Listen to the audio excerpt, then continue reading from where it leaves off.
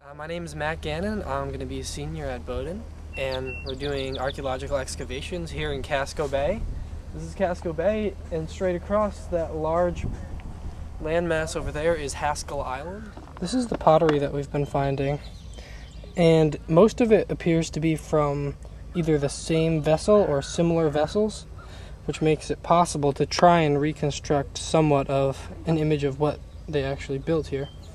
With hundreds of islands out here, there are many opportunities to do archaeological work, both historic and prehistoric.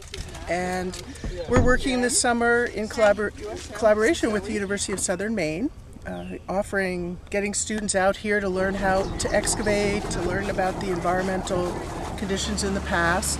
And we're working on a wonderful island, Haskell Island, which has a very large shell midden site, a prehistoric site and this site has a record of about 3,000 years of Native Americans using this area, hunting, uh, sea mink. We have the extinct great auk bones in our deposits, and of course, eating a lot of clams, cod.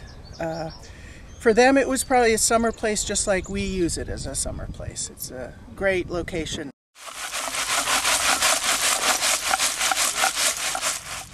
Um, it stood out to me kind of the the procedure of going about digging where you have to plot out very carefully your test unit, which for us has been a meter by one meter, and you have to line it up perfectly north south so that you can really grid everything in a very scientific way.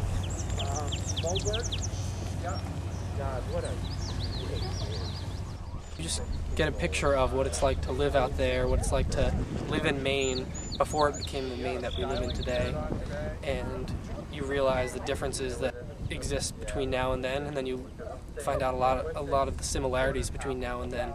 You know, we're digging in a clam pile, and so they like to eat clam.